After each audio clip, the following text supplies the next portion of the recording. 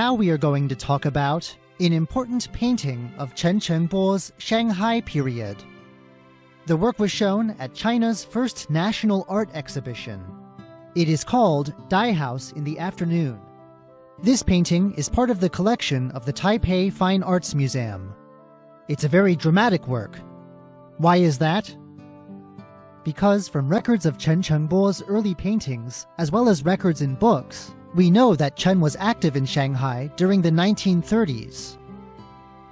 This painting had usually been called Suzhou 1932. After the museum acquired the painting, the work was the subject of a major restoration and repair project. This project took what had been unclear areas of varnish or areas that had become dirty and cleaned them up.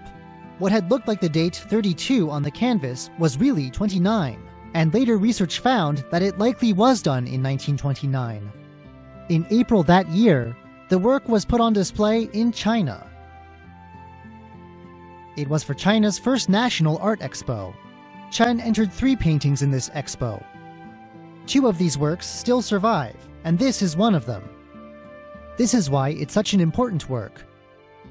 In the painting album made that year, the work was entitled Dye House in the Afternoon. Everyone thought he painted the work in Suzhou, where there are many silk dyers. And no one doubted this, at least until a few years ago, when Academia Sinica and the Chen Cheng-po Foundation came out with a plan to tag Chen's paintings to coordinates on Google Maps. With the internet being what it is today, the museum was able to find, from records at Duke University in the United States, that Sidney David Gamble, who lived from 1890 to 1968 and was an American sociologist who graduated from Princeton, had also been in China around the same period of time. Around roughly the same time Chen Cheng-po was in China, Gamble had done four survey trips to the same area, and he took some pictures there. Many pictures, actually.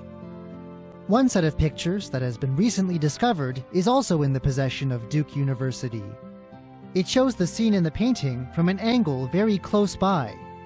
But on the photograph, the name of the city Hangzhou is written instead. The work suddenly went from being seen as a painting of Suzhou in 1932 to a painting of Hangzhou in 1929.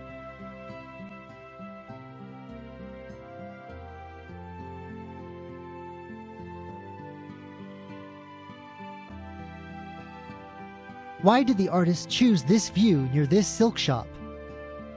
Because it has such a beautiful arch bridge, and there are many old streets and many old buildings. This point of view is very beautiful, and when we compare Gamble's photographs to the scenery that Chen Cheng-po paints here, we can see that it is very, very colorful. There are many sheets of silk hanging down from above the dye works. They hang down from the horizon with their reflection inverted in the small canal below.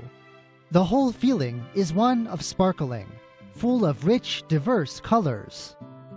Chen has also added many of the people he liked to paint, showing them loving one another and walking down the road, or crowding together on the bridge and watching the excitement. Chen also liked to paint more modern elements, for example, there are electric poles and wires. In any of his paintings, we can see many curves, or else we can see arcs and lines. There are lines that can break the rigid vertical facade, and some arcs that provide a sense of rhythm. Those vertical silks, reflected there on the water, and the horizontal display of various colors, are a bit like the way an Impressionist painter would paint reflections on the water, a point that provides interest to this painting. More interestingly, and importantly in China, in addition to being a sort of Western painter teaching Western perspectives, Chen also learned something from Chinese ink painting techniques. For example, the brushwork of the Yuan Dynasty master Ni Zan. The technique Chen uses for the trees on the right side of the painting reflects the brushwork of Ni Zan, one of the great four masters of the Yuan dynasty. The leaves, branches, and trunks on these trees look much like Yuan dynasty ink painting. Chen's blending of the Chinese and the Western is rich and interesting.